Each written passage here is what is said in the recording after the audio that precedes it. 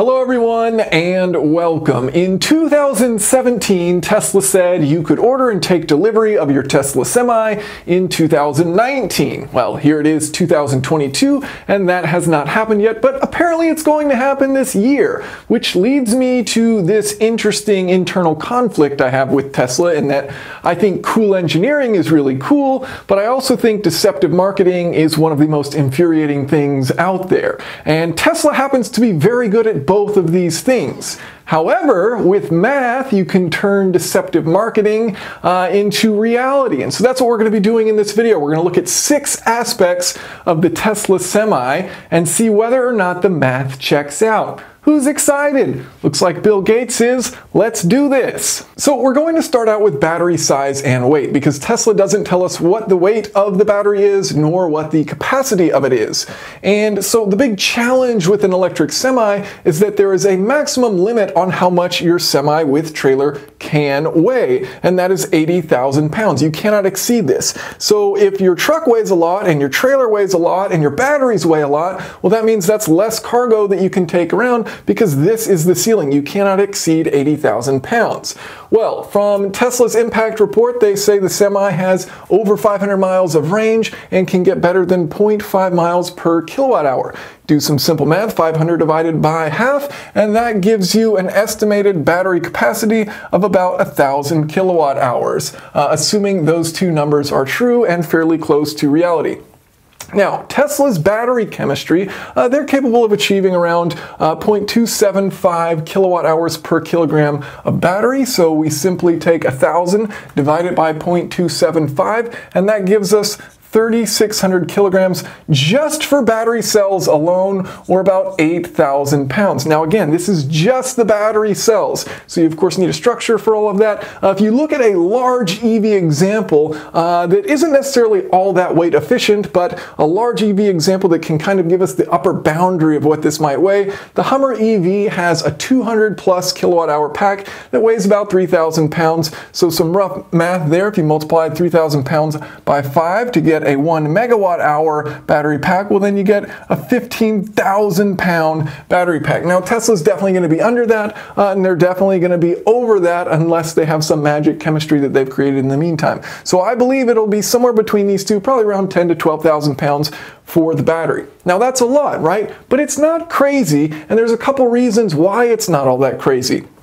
So the average class 8, meaning semi-truck, uh, that's how they're classified in the US, the average weight of one of these things, uh, the diesel ones, is about 17 thousand pounds. Uh, and about 4,000 pounds can be attributed to the engine and related components to that engine. So that is a big chunk of weight. Certainly electric motors aren't going to weigh anywhere near this, uh, but you have that really heavy battery. The other advantage that you have with electric semis is they're given a plus 2,000 pound weight limit. So an electric semi as well as a natural gas semi, uh, because these also have additional equipment that weigh more, they're allowed a ceiling of 82,000 pounds, which means you get a buffer about 2,000 pounds extra for the EV, uh, and plus, you know, you don't have that giant heavy engine. So while it's probably going to be slightly heavier than the Semi, uh, part of it is allowed, and you still won't have too much of a reduction in cargo capacity. So as far as battery size and weight, the math actually does check out. Okay, so next let's talk about range because Tesla says this is going to be capable of 500 miles at maximum load. And so we're going to go over two examples here, uh, one of which is the best case scenario, make it as easy as possible for it to be able to do this, and then the other is a bit more complicated. So we need to go through a few of the variables. Tesla says the drag coefficient of this Tesla Semi is just 0.36. That is incredibly good. It's also kind of hard to believe because you don't have complete control over the trailer. If the trailer has some irregular shape to it, that has a huge impact on the drag coefficient, and that's not something you can completely control. Uh, so it's hard to get this number, but we're going to give it to them in this case. Also, we have to look at the frontal area. Now, if you look at the standard dimensions of one of these trailers in the US, it's 8.5 feet wide and it's 13.5 feet tall, including the tires. Uh, that's pretty much a box and it's pretty much unavoidable. You pretty much have to use this area, this box of an area, as your frontal area. Now, for this example, I'm going to give them a foot off the bottom and say that some of that air passes underneath the truck and it's not obstructed as far as frontal area. Uh, so we're going to give them a little bit of a, of a benefit there with front area, uh, which we're not going to do for our second example. We're going to assume that entire rectangle. The velocity is going to be 60 miles per hour. That's what Tesla said in their reveal that they could do this at. So the semi is traveling at 60 miles per hour.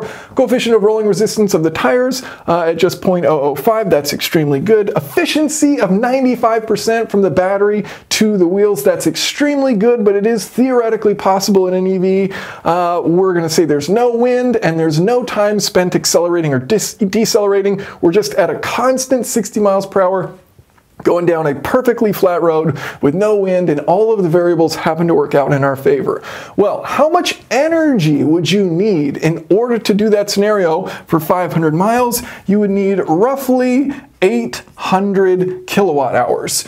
And so that is less than a thousand. So theoretically possible here. If Tesla does come out and say that the battery capacity of the semi is 800 kilowatt hours or less, I would then be skeptical of it actually achieving that 500 mile range uh, because in the best case scenario, that's basically the absolute minimum it would need in order to do it.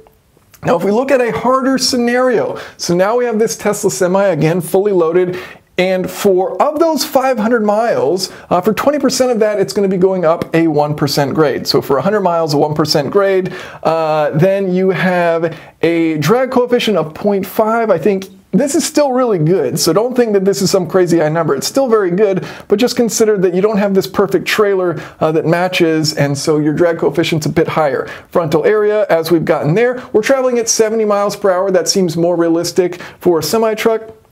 We're going to say the rolling resistance coefficient is slightly higher. We're going to say our efficiency is 90%, still really good. Again, you have to consider auxiliary things that you're running. So, you know, uh, running the heat in the cabin or things like that. Uh, if you have wind, so we're going to say we have a 10 mile per hour headwind for this drive and uh, we're spending some time accelerating and decelerating. So we have to account for inertia in this equation. Well, if you do this, this scenario, which isn't unfeasible, right? I mean, this certainly could happen. These are not numbers that are just like, oh, that's crazy. Never would a semi-truck ever encounter these scenarios. If you do the math there, well, that gives you about 2,000 kilowatt hours of required energy, meaning the actual range of this truck in these conditions is just 250 miles rather than 500. So Tesla's 500 mile per hour claim, I think, is possible, assuming it is a 1,000 kilowatt hour uh, battery, but I wouldn't say in all scenarios uh, that you're going to see that. Uh, certainly, you can see how easily that number can be less. Now, the benefit that Tesla has going for them in these calculations is that they do it at full load. It is rare that trucks out there on the road are actually all, you know, driving with full load. The average is underneath that. So if we were to look at a scenario uh, like this ideal scenario here and we take out 30,000 pounds, so the total weight is just 52,000 pounds of between cargo and the truck and batteries, etc., then we're down to 640 kilowatt hours needed in order to achieve that. So you can see that if your load goes down, it does make a huge impact on how much energy you use because so much of the energy does go to rolling resistance in these tires. So next we get to weight and power. Both of these variables Tesla does not provide to us. However, super cool, we can calculate both of them. Weight pretty easy and power a bit more challenging, but we will figure it out. So Tesla provides some information that allows us to calculate these two variables. Why? Because they told us an 80,000 pound mass. This was before uh, legislation had allowed for 82,000. So an 80,000 pound truck is able to accelerate to 60 miles per hour in 20 seconds. Now, a truck of unknown weight without the trailer is able to accelerate to 60 miles per hour in 5 seconds. Well, this is super easy to figure out. Force equals mass times acceleration.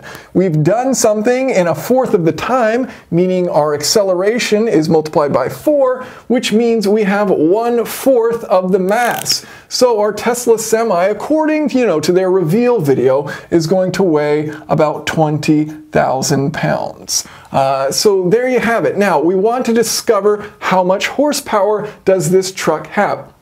Well, we know the amount of work done. Work is force times distance. So this truck applies a certain force to drive a certain distance, right?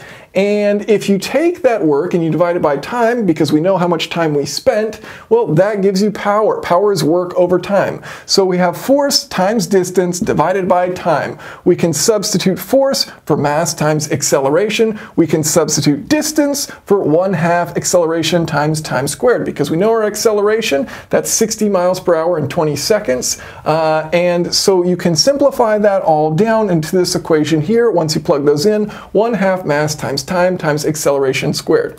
So we have all those variables. We know our mass, we know our time, we know 60 miles per hour in 20 seconds is the same as 1.34 meters per second squared. So that tells us the amount of power required in this scenario is about 650 kilowatts or about 870 horsepower. Now I have an asterisk here because this is the absolute minimum you would need to do it. You're not taking into consideration efficiency, you're not taking into consideration, you know, the rotational inertia for all these tires, things like that. So you're looking at around a thousand horsepower for this thing to be able to do what they claim of 0 to 60 in 20 seconds. And yeah, the math checks out. Tesla's capable of 1000 horsepower. Uh, that all is very possible possible. All right, next we get to charging rate. This one is very simple and easy to verify. So Tesla says they can charge this battery, this massive battery, 70% uh, in 30 minutes. And so the thing is with battery charging, that is simply limited to the cell, right? So you can have a ton of cells and you can still charge all of them at the same rate. You just need more power to do it. So it isn't crazy. They're already doing, you know, 70% of a battery charge in 30 minutes. So that is not anything to be concerned with. Uh, it is a high level of power that is going into the vehicle. So that's 700 kilowatt hours in 30 minutes if you assume a 1,000 kilowatt hour battery pack, which means the charging rate is 1400 kilowatts. That's about six to 10 times what their current superchargers are doing. So they're going to have these semi-chargers uh, that are capable of much faster charging rates, uh, very high power and like liquid cooled sleeves and stuff like that. Wild tech, but point is they're going to be pumping a ton of power into that semi to charge it up quickly. And it is feasible. It still means, you know, you have to have access to these chargers in order to do it uh, but the math is very feasible there. Okay, next let's get into cost per mile. And we're just going to be looking at fuel versus energy here uh, versus a diesel truck. Uh, I don't know what the price of this Tesla Semi is going to be. Often that comes down to whatever business they're negotiating with when they're selling it. Uh, at one point they said $180,000 for this truck. Who knows? Point is, we can do a little math and see whether or not per mile if any of this makes any sense. So if you look at the wholesale price for industrial electricity within the United States, uh, it's about 9 cents cents per kilowatt hour. If you look at diesel, uh, wholesale price in the US is about $4.20. It seems like uh, Elon would recommend diesel in this case if it was actually $4.20, uh, but that's price of diesel as of when I'm recording this, average for the US wholesale. Now, efficiency, Tesla, we're going to go with their 0.5 mile per kilowatt hour claim, and the average uh, Class 8 truck within the United States is getting 5.29 miles per gallon. So we're going to say that both of these go for a million miles. That's what Tesla says they're going to guarantee their powertrain for. Uh, and it's not uncommon for one of these diesel vehicles to also travel a million miles in its lifetime. It's pretty impressive versus, you know, production cars, how much longer these things last. So what is the price in each of these scenarios? Well, for the Tesla, you multiply that all out, you get $188,600 that you will spend purely on electricity. Uh, and for the diesel, you're at $793,950. So if these are the actual prices you're paying for one or the other, it's like abundantly clear uh, that you should go electric if you have the capability to do it and the charging infrastructure, all that. So if you can actually get electricity for this price and make it work out, yeah, it's insane uh, to go diesel. Tesla in their video said they're going to guarantee 7 cents per kilowatt hour for these semi chargers. If they actually do that, great, take them up on it. I have uh, my skepticism that they'll actually be offering that And if you look at retail prices that some of us pay uh, for like superchargers within the United States, that can be above 50 cents per kilowatt hour. And if you were to ever actually have to pay these prices, I mean, if you multiply that all out, then you're at a million dollars in electricity if your per kilowatt hour price is 50 cents. So then it favors the diesel if the electricity gets really expensive. So as long as you're paying industrial electricity prices, great, you can make it work out and actually a huge leap. Even even if you need to replace the battery, considering, you know, if the price of the truck is anywhere around here, or if you have to replace the entire truck. So if the price is anywhere near this, uh, and fuel prices and energy prices or anything like that, math checks out heavily in favor of Tesla. So our final subject, do the emissions check out? Because this is of course what Tesla is pushing for. They're saying, you know, by switching from diesel to electric, you're going to have far better CO2 emissions. So if we look at our well-to-wheel CO2 emissions, meaning everything required in order to use that certain amount of energy within the vehicle for the Tesla, that is 0.53 kilograms of CO2 per kilowatt hour. That includes transmission losses, that includes charging losses, uh, so our well-to-wheel number there. And then for diesel, 12 kilograms of CO2 emitted for every every gallon of diesel burned, and that includes production of that diesel fuel extraction, all that stuff. So if we look at the mass contribution of the trucks, of course, we have, you know, what does it take in order to create these vehicles, and then what does it take to run them? So we're going to go with the assumption of 5,000 kilograms of CO2 per ton of vehicle. This is not including the battery. And then the CO2 emissions of the battery, we're going to go with uh, somewhat of an average within the industry of 150 kilograms per kilowatt hour. Tesla says their number is much better than this, about 70 kilograms per kilowatt hour, but we're going to go with the higher estimate just to kind of be on the safe side here. So if we look at the lifetime emissions of CO2, for these vehicles, including production and use, uh, we get to the perfect scenario here uh, for Tesla, just production and assuming all energy is from renewable sources and you have zero emissions associated with driving, then you just have 175,000 kilograms of CO2 emissions. Uh, not really achievable uh, because you know there's going to be some emissions associated with creating solar power, wind power, whatever, uh, but far lower numbers. So it can approach this perfect scenario right here.